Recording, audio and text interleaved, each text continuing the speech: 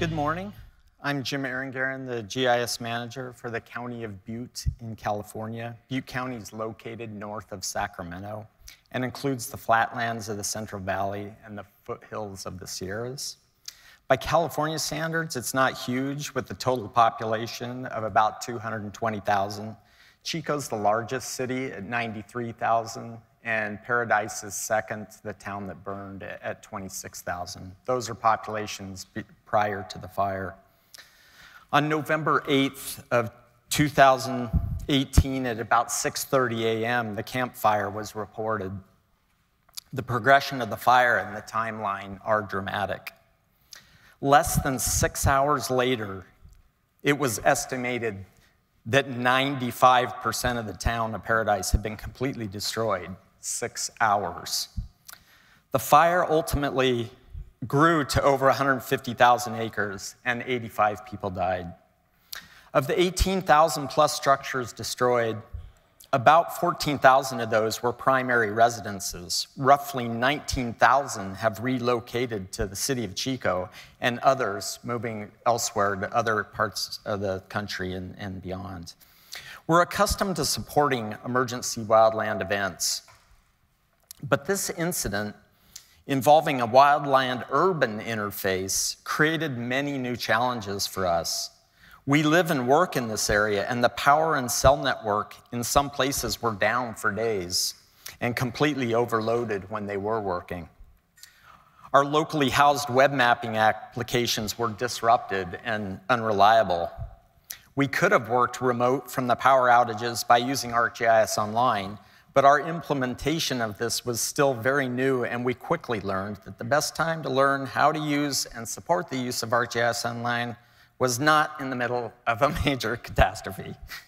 Both of my staff were directly impacted. One lost his home and had to relocate and make sure his family was in good condition, and the other had to leave. Northern California has a great network of folks, and everyone wanted to help us, but we weren't in a position to be able to hand off tasks easily due to the overwhelming state, so we chose carefully on who, what offers we accepted. Their, their request for data, maps, and application was untenable. Everyone wanted everything completed before they asked for it and did not follow the ICS protocol for submitting these requests. Many times they didn't really understand what they even needed. To top it all off, we had to support multiple locations. There was an emergency operations center, an EOC, in Oroville, where many of the county building inspectors were based out of. And we're accustomed, as the unincorporated area, to, to support that EOC. But the town of Paradise um, was decimated, so they created their own EOC in the city of Chico, and we had to support that one as well. It takes at least 30 minutes to get back from one to the other, so it was making it difficult to support morning briefings held at both locations. From a GIS perspective, there were so many moving pieces. The various incident management teams mapped the fire as well as supported the search and rescue operations. They also had drones assisting with mapping of the suppression effort.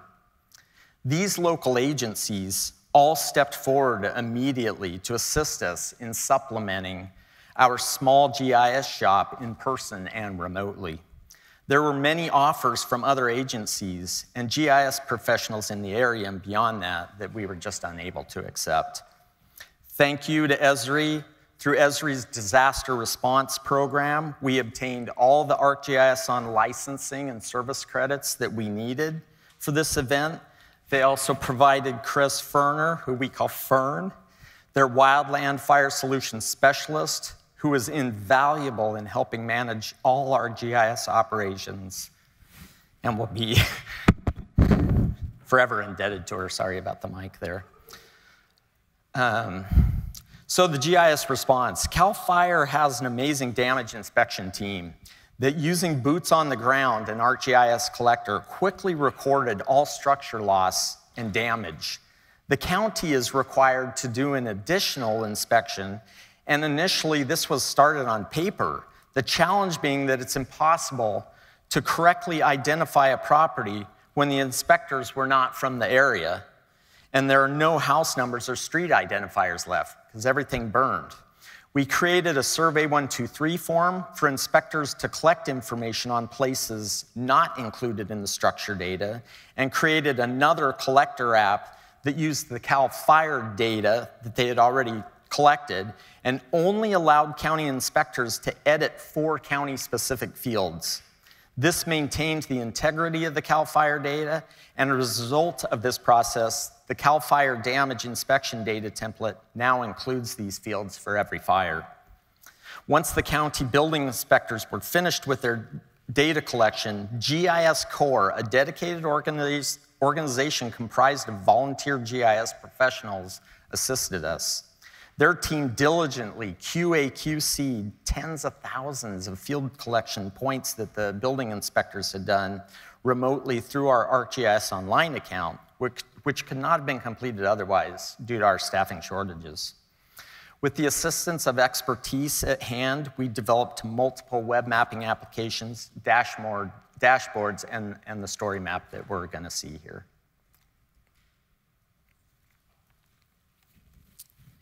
So let's take a look at the story map we developed. We like it because it tells a story through the response and recovery stages and gives users a one-stop place to get the information.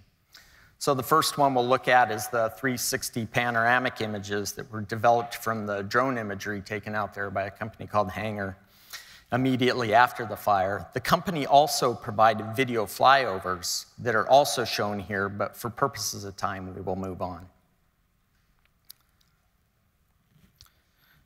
Due to the speed and veracity of the fire, all the zones, all the evacuation zones were just, they're red, they're evacuation orders, and they had to leave.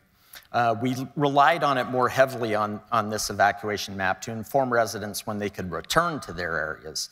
And we could update this map from anywhere through ArcGIS Online to match the sheriff's information. There's a tab displaying the CAL FIRE structure status map that you already saw in the map on the last slide. We utilized the before after slider that you can set up in StoryMap um, to give the user a look at their area before the fire and afterwards using that drone imagery. Phase one of hazardous waste assessment and cleanup in the recovery process by the EPA and the California Department of Toxicology and Substance Control, that's been completed. So currently we are still in phase two, where users can see the status of their property regarding debris removal and the ability to apply for building permits, which there aren't very many of yet, but it's slowly moving on and it's at 1.9 now. So, preparations for future events. Fern and I laughed when she asked me a month later, after the heat of the recovery, what I would do differently the next time. And I said I'd buy a camper van and drive away. and, and my GIS tech joked the next time they open an EOC, he would tell me, I'll EOC you later. You know, I, I, hope that I never have to, you know, support such a de devastating incident again. And I also hope that my county never has to experience one either. But even an incident of smaller scale will benefit from our experiences through this Camp Fire. From a GIS perspective, we're preparing, we're working on some more of our data. We're working on sharing more of our data publicly through the hub in ArcGIS Online so others can easily find our authoritative data sets and access it from remote locations in case we went down. If we need to create a map or, or, or an app, remember many incidents evacuations impact office locations and we don't want to be helpless if we can't get to our office.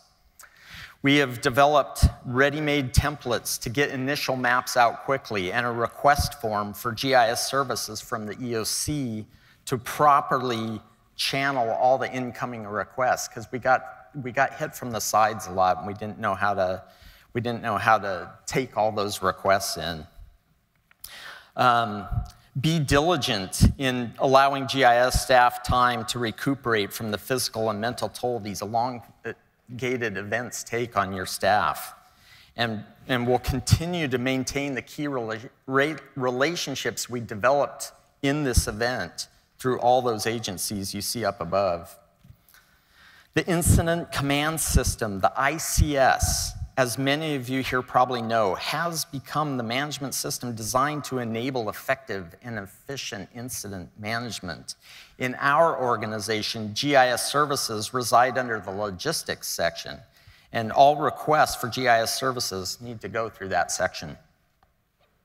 None of us individually can accommodate all the needs that arise from these emergencies. Collaboration is key for data mapping and application development and sharing. It's impossible to relay the effects of this fire and its lasting impact to Butte County in a short presentation. Eight months later, we see a constant stream of debris removal vehicles through our area. It's impacted all of us to varying degrees with countless stories of the challenges we all have faced as we continue to adjust to our new reality. So don't postpone your, your preparation. Thank you.